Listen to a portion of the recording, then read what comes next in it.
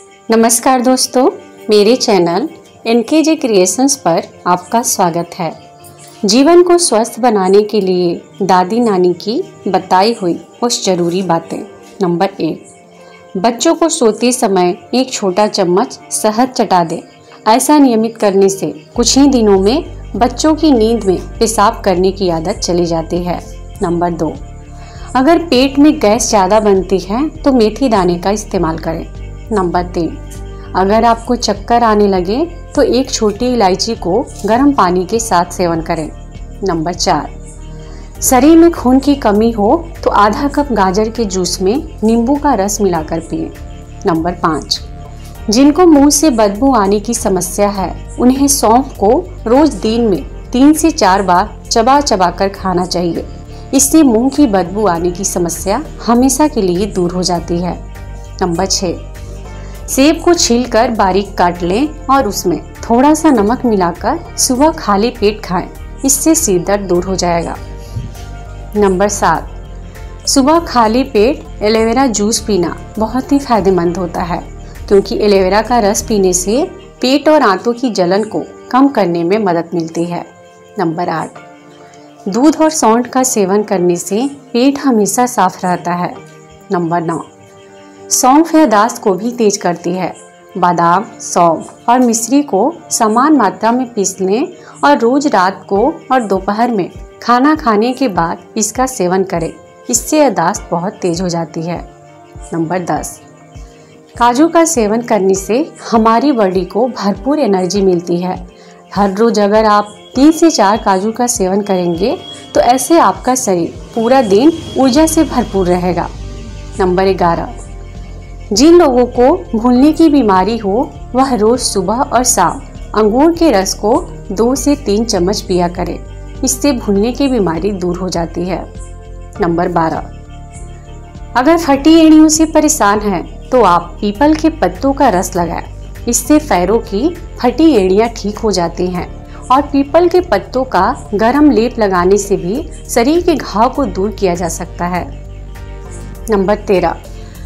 खसखस के बीजों को पीसकर पानी के साथ लेने से बॉडी का टेम्परेचर कम हो जाता है और गर्मियों में बॉडी को कूल रखने के लिए यह बेस्ट मेडिसिन है।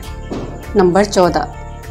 आंवले के रस का सूखा चूर्ण गुड़ के साथ मिलाकर लेने से पेशाब खुलकर आती है। नंबर पंद्रह। पका हुआ अमरूद खाने से शरीर में हीमोग्लोबिन की कमी नहीं होती है और जब शरीर में हीमोग्लोबिन की कमी नहीं होगी तो आपके शरीर में ब्लड आवश्यक मात्रा में बनेगा। नंबर 16 कच्चा प्याज खाने से गर्मियों में लू नहीं लगती है और अगर किसी को लू लग गई हो तो प्याज का रस पीने से या उसे तलवे पर मलने से राहत मिलती है। नंबर सत्रह। सौंफ आँखों के लिए बहुत अच्छी होती है। एक चम्मच सौंफ, दो बादाम और स्वादानुसार मिश्री को साथ में पीस कर पाउडर बना ले और रोज़ाना रात को सोने से पहले एक चम्मच इस पाउडर को दूध के साथ सेवन करने से आँखों के रोग ठीक हो जाते हैं तथा आँखों की रोशनी बढ़ती है। नंबर 18 अगर चोट लग जाने की वजह से शरीर से लगातार खून निकल रहा है तो बहते हुए खून को रोकने के लिए फिटकीरी के प्रयोग कर सकते हैं।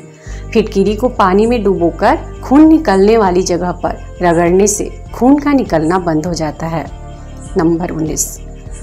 रोज सुबह खाली पेट दो आंवले खाने से आँखों की रोशनी बढ़ जाती है। आपको बता दें कि आयुर्वेद में आंवले को आँखों के लिए सबसे बड़ी औषधि बताया गया है। आंवले का लगातार सेवन करने से आँखों की चमक बढ़ जाती है और जिन लोगों की आँखें कमज़ोर होती हैं, उनकी आँखें सामान्य हो जाती है। नंबर 20 सौंफ पौरुष शक्ति को भी बढ़ाती है। जिन पुरुषों में अंदरूनी कमज़ोरी है, उनके लिए बहुत फ़ायदेमंद होती है। इसके लिए एक गिलास गर्म दूध में एक चम्मच सौंफ और मिश्री का पाउडर डालकर रोज़ाना सात दिन तक रात को सोने से पहले पीने से शारीरिक कमज़ोरी दूर हो जाती है। नंबर 21 यदि शरीर के किसी हिस्से में गैस के कारण दर्द हो रहा है तो एक गिलास गर्म पानी पीने से गैस बाहर हो जाती है। नंबर 22 अगर किसी को ज़्यादा डकार आती है तो उसके पेट में ऐंठन की समस्या हो सकती है। अगर आपको दिन भर डकार आते रहते हैं तो इसे नज़रअंदाज ना करें। डॉक्टर से चेकअप ज़रूर कराएँ। खाना खाने के बाद डकार आना एक सामान्य शारीरिक क्रिया है। बच्चों से लेकर बूढ़ों तक सभी को खाना खाने के बाद डकार आती है। लेकिन किसी को दिन भर या लगातार डकारे आ रही हैं तो यह एक गंभीर बीमारी के संकेत हो सकते हैं। नंबर तेईस। दलिया एक ऐसा नाश्ता है जिसे डॉक्टर भी रोज खाने की सलाह देते हैं।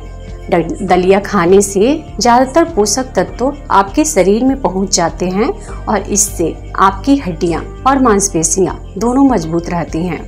नंबर 24 रात के समय यदि पेशाब करने के लिए उठें तो उठने से पहले एक मिनट तक बिस्तर पर ही बैठें और अपनी हाथ और पैरों की उंगलियों की हरकत करें।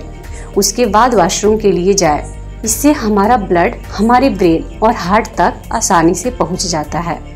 नंबर 25 इन बातों पर भी ध्यान दें। रात में आवश्यकता से अधिक कभी भी ना खाएँ।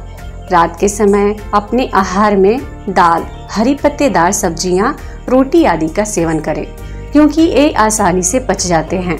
ठंडा दूध ना पिए। जब दूध हल्का गर्म हो तभी उसे पी लेना चाहिए। नमक का मात्रा कम खाएँ क्योंकि अधिक मात्रा में इसका सेवन करने से शरीर में पानी की मात्रा को कम करता है। नंबर 26 अधिक कार्ब या चीनी वाले खाद्य पदार्थ भी ना खाएँ। कई लोगों की यह आदत होती है कि वे रात में सोने से पहले मीठी चीज़ों जैसे कि चॉकलेट, केक, कुकीज आदि का सेवन ज़रूर करते हैं। अगर आप भी ऐसा करते हैं तो सतर्क हो जाए, क्योंकि इससे शरीर में ब्लड शुगर का स्तर बढ़ सकता है। इसके अलावा, रात में कार्बोहाइड्रेट से भरपूर खाद्य पदार्थों के भी सेवन से बचें। नंबर सत्ताईस। तुलसी और अदरक का रस पाँच से सात बूंद शहद में मिलाकर चटाने से बच्चों का कफ, सर्दी और जुकाम ठीक हो जाता है। नंबर 28 अदरक और नींबू का रस रोज़ाना मिलाकर पीने से मोटापा घटता है। नंबर 29 नीम और बेर के पत्तों को पानी में उबालकर उस पानी से सिर धोने से बाल गिरने बंद हो जाते हैं। नंबर 30 खड़े होकर पानी पीने से जोड़ कमज़ोर होते हैं और घुटनों में हमेशा दर्द बना रहता है। नंबर इकतीस। हरी मिर्च खाने से सांस से संबंधित बीमारी नहीं होती है। नंबर बत्तीस। सुबह खाली पेट अजवाइन का पानी पीने से पेट की सारी गंदगी साफ़ हो जाती है।